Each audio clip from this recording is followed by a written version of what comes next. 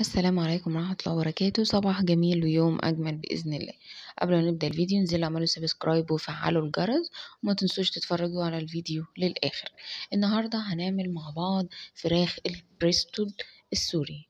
أنا عندي هنا لتر مية عندي فنجان من الخل عندي معلقة من السكر ومعلقة من الملح عندي هنا آه، أوراق فراخ. طبعا أنا مقطعاها عندي هنا نشا خمس معالق من النشا وعندي كوباية من الدقيق وكوباية من المية. وأقول لكم دلوقتي إحنا هنستخدمها في إيه؟ عندي هنا التوابل كزبرة وتوابل فراخ وكاري وملح وفلفل وبابريكا. أول حاجة إحنا هنعمل محلول من اللتر من المية وهحط فنجان من الخل. وهحط عليهم معلقة السكر ومعلقة الملح.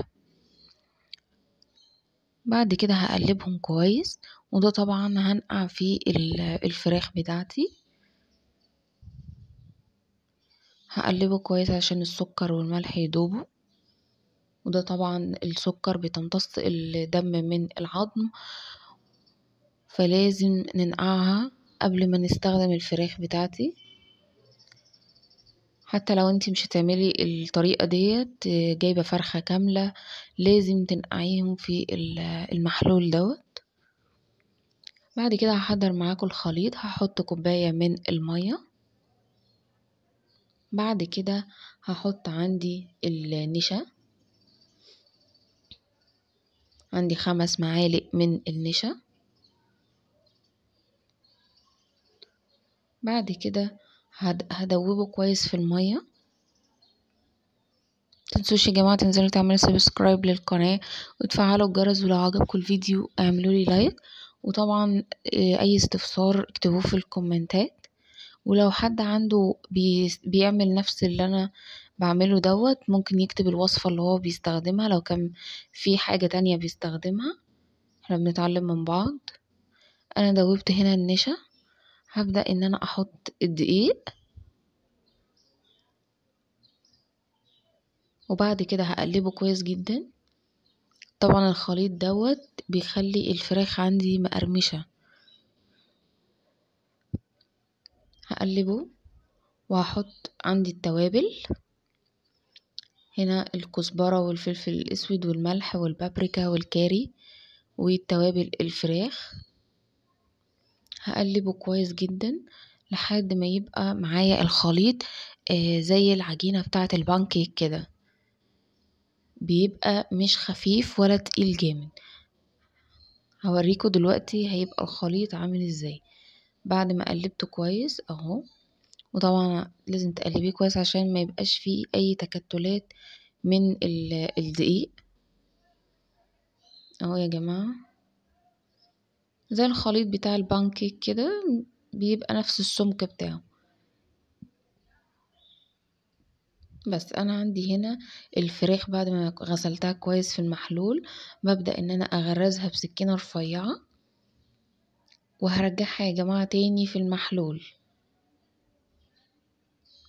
هغرزها كويس وطبعا دوت عشان لو في أي حاجة في العظم من جوه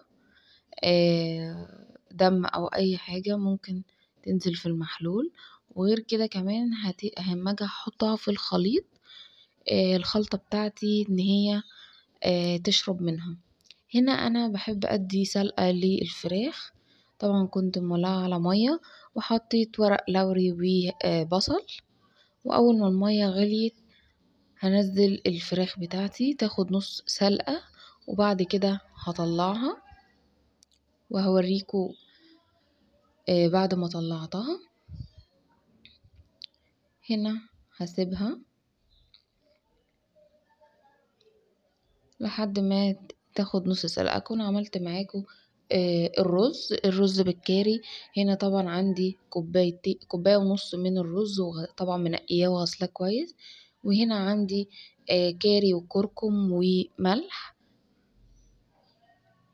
هنا هحط الكاري والكركم آه على معلقة من الزيت.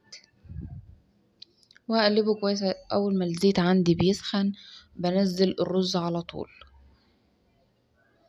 طبعا يا جماعة الكاري والكركم بيدوا آه، ريحة وطعم تحفة للرز.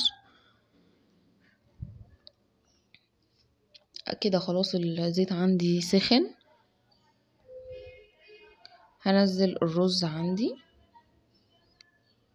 وطبعا على حسب نوع الرز اللي انتي بتستخدميه أنا بحط كمية المية. هنا ده رز آه، مصري عادي ده طبعا بتحطي المية يدوب بتغطي الوش الرز. إنما لو بتستخدمي بسمتي طبعا بياخد مية كتير جدا. هقلبه كويس لحد ما يتشرب وبعد كده هحط عليه مية سخنة. مش بحط مية ساقعة أنا بكون غالية آه، مية في الكاتل وبقوم حاطة عليه كده خلاص. هبدأ إن أنا أحط عليه المية السخنة.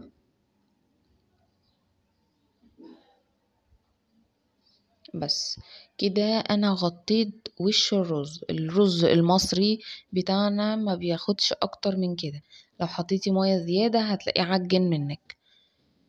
أول ما يغلي معايا هبدأ إن أنا أوطي العين. مش هسيب العين عالية عليه لا أنا هوطيها وأسيبه يستوي. هكون حضرت معاكم بقى الخليط الجاف.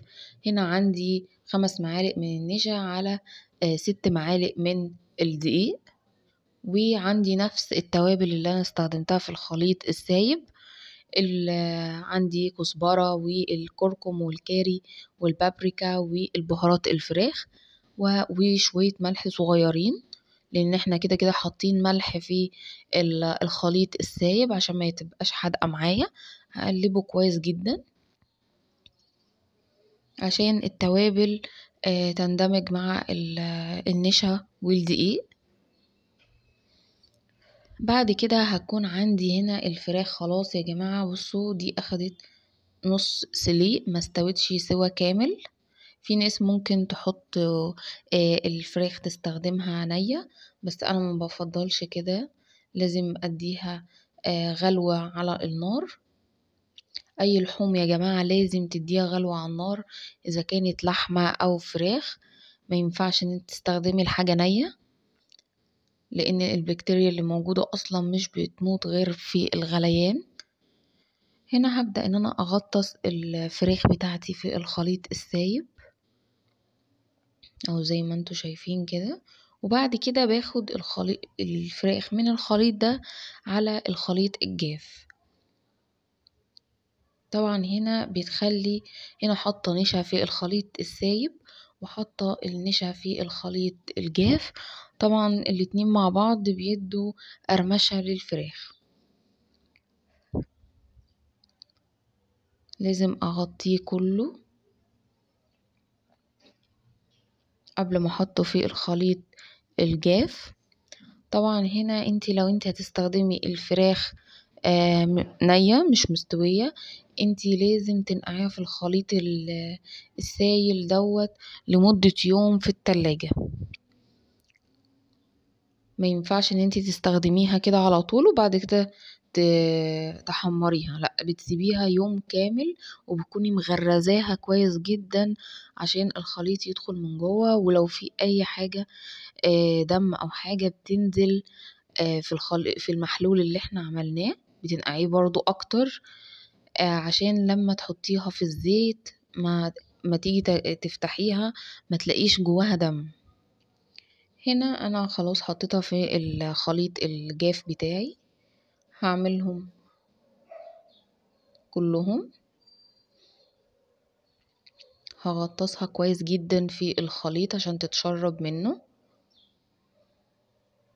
بعد كده بحطها في الخليط. لو انت عندك من الأكياس الحراري ممكن تحطي الخليط الجاف في كيس حراري وتطلعي من الخليط السايل تحطي في كيس الحراري وترجيه كويس جدا آه، عشان الدقيق والنشا آه، يجوا على الفرخة كلها.